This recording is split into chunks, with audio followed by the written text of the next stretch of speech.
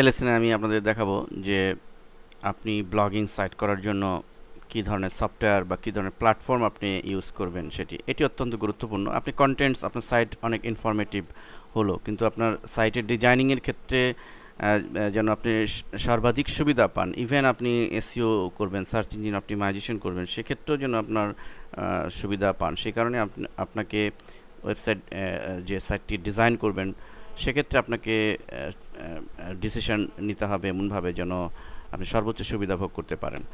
Normally একটি static site তৈরির জন্য এসটিএমএল ড্রিমএভার সিএসএস বা জাভা স্ক্রিপ্ট দিয়ে আপনি করতে পারেন। কিন্তু আপনি যখনই ডায়নামিক সাইট করবেন, আপনি আমি যেসব বড় বড় সাইট দেখালাম, সবগুলো সাইটে আপনি লক্ষ্য করে দেখবেন যে সাইটের টোটাল প্ল্যাটফর্ম এটা আউটলুকিং সবই কিন্তু অত্যন্ত নাইস লুকিং এবং ফুলি ডায়নামিক আমি গ্রিটিংস কার্ড ডট কম সাইটে আপনাদের দেখিয়েছি। আমরা পূর্বোক্ত লেসনগুলোতে দেখিয়েছি যে ই ব্লগারে আপনি কীভাবে ফ্রি ওয়েবসাইট করতে পারেন। আপনি ই ব্লগারও করতে পারেন কিন্তু ব্লগিং করার জন্য যারা প্রফেশনালি এবং লং টার্ম প্ল্যান নিয়ে ব্লগিং করতে চান, তাদেরকে আমি অ্যাডভাইস করব নিজস্ব ডোমিন হোস্টিং কিনে নিজস্ব প্ল্যাটফর্মে আপনি একটা ডায়নামিক সাইট তৈরি করেন। কারণ ই ব্লগারে কিন্তু এটি আপনার নিজস্ব ওয়েবসাইট না এটি একটি ব্লগার ডট কমেরই একটা সাব ডোমিন আপনি পাচ্ছেন এবং এখানে অনেক লিমিটেশন আছে। এখানে আপনি সব ধরনের কাস্টমাইজেশন আপনি কিন্তু করতে পারছেন না। বা এই জন্য এই জন্য কিন্তু এই, এটি ই ব্লগার খুব ইফেক্টিভ হবে না। সেক্ষেত্রে সেক্ষেত্রে আপনি নিজস্ব যদি ডোমিন থাকে এবং নিজস্ব প্ল্যাটফর্মে আপনি পিএসপি মাইস্কিউল হোক বা যে কোনো সিএমএস দিয়ে আপনি যদি একটা সাইট ডিজাইন করেন, সেটি সবচেয়ে বেটার হবে। আপনি হ্যাঁ এই ব্লগার বা ফ্রি ওয়েবসাইট দিয়ে আপনি করতে পারেন। আপনার যারা ব্লগ যারা ব্লগার তাদের একাধিক ব্লগ সাইট থাকে। হয়তো আপনি পাঁচটি বিষয়ের উপর ব্লগ সেট করলেন, আপনি তিনটি বিষয়ে নিজস্ব ডোমিন নিয়ে করলেন, আর বাকি দুইটি বিষয় আপনি এই ব্লগারে করলেন।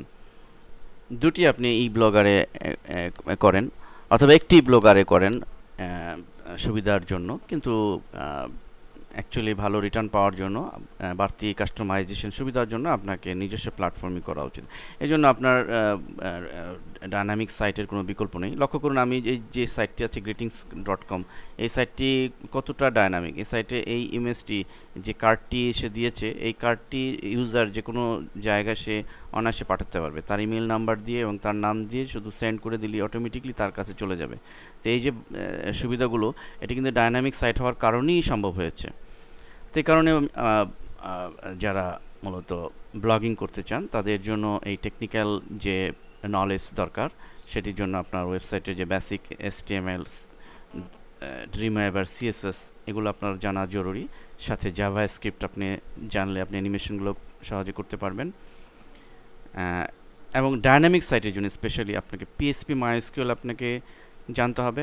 এবং এর সাথে সাথে আপনি যে কোনো একটি সিএমএস প্ল্যাটফর্ম যদি ব্যবহার করেন, তাহলে সবচেয়ে বেটার হয় জুমলা অথবা ওয়ার্ডপ্রেস যে কোনো একটিকে বেছে নেন জুমলা অথবা ওয়ার্ডপ্রেস ওয়ার্ডপ্রেস আমরা সাজেস্ট করব ওয়ার্ডপ্রেসের ব্যাপারে। কারণ ওয়ার্ডপ্রেসে মূলত এসিও যারা করবেন, আর অ্যাকচুয়ালি ব্লগিং করতে হলে তো এসিও বা সার্চ ইঞ্জিন অপটিমাইজেশনের কোনো বিকল্প নেই। তো আলটিমেটলি যেহেতু এসিও করতেই হবে এই জন্য এসিওর সব ধরনের টুলস সাপোর্ট সুবিধা রয়েছে ওয়ার্ডপ্রেসের ভিতরে। অতএব আপনার ফুল ডায়নামিক সাইটের জন্য এবং সব ধরনের কাস্টমাইজেশনও সম্ভব তো আমরা বলব যে আপনাকে ওয়ার্ডপ্রেস প্ল্যাটফর্মে আপনার ব্লগিং সাইটটি যদি হয়, সবচেয়ে বেটার হয়। তো মূল কথা এটি দাঁড়াল যে আপনি একটি যে কোনো সিএমএস জুমলা অথবা ওয়ার্ড পেজকে বেছে নেন। ধরে নিয়ে আমি ওয়ার্ডপ্রেসটা বেছে নেবেন এবং এটির মোস্ট কাস্টমাইজেশনের জন্য আপনি এসটিএমএল সিএসএস এগুলো যদি আপনি জানেন তাহলে আপনার জন্য আরও বেটার